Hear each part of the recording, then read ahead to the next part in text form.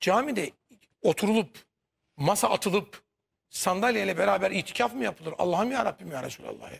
Ya var öyle bir resim gösterirsin Var ya. var. Vardı Ya arkadaşlar. böyle bir böyle bir böyle bir itikaf mı yapılır? Ya burası cami. Hangi birimiz camide masa sandalye attık da oturduk ya? Ya Rabbi ya Resulallah. Ya ya, ya Rabbi ya Resulallah. Şu Şimdi abi. bakın. Orası cami. Orası masa. Oturmuş. Orada kenara ofis geçmiş. yapmış yani. Orayı ofis yapmış kendisi. Camide oturulup masa atılıp sandalyeyle beraber itikaf mı yapılır diyor. Orayı ofis yapmış kendine. Benle ilgili bunu söylüyor.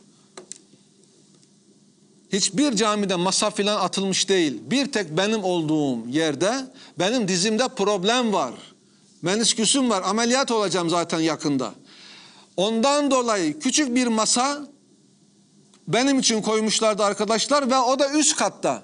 Kimse zaten yukarıya çıkmıyor. Kocaman cami. Zaten aşağısı dolmuyor ki. Zaten cemaat 15-20 kişi. Yukarıya kim çıksın ne yapsın ben yukarıdayım. Orada şöyle küçük bir masa ne olur yani bununla? Ayağım ağrıyor. Yani sürekli yerde oturamıyorum.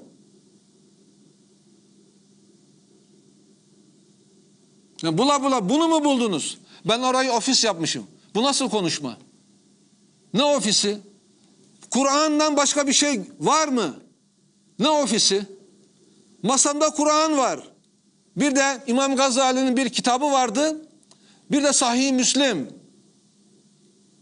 Hadis kitabı yani. Ne ofisi?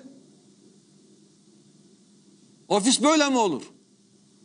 Masaya mı taktınız? Dizim ağrıyor anlamıyor musunuz?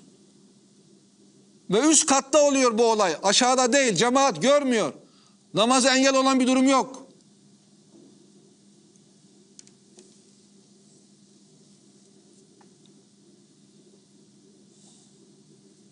Sonra hukuk da gereğini yapar, biz de gereğini yaparız diyor. Hukuk yani siz hukuka talimat veriyorsunuz resmen. Savcılara, hakimlere talimat veriyorsunuz. Gereğini yaparmışsınız. Gereğini yaptınız ne oldu? İyi bir şey mi oldu? Bu gereğini yapmak mı? Siz gereğini yapmadınız. Gereksiz bir şey yaptınız. Siz Türkiye tarihine geçtiniz.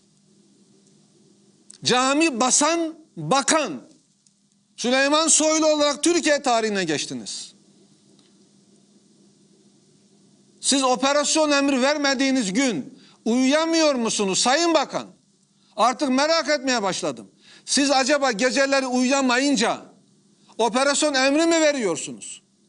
Operasyon emri vermediğiniz gün günde 3-500 kişiyi gözaltına aldırmadığınız zaman rahat edemiyor musunuz acaba? Merak ediyorum. Acaba uykunuz mu kaçıyor? Bugün kimseyi gözaltına aldırmadım diye düşünüp de acaba uyuyamıyor musunuz?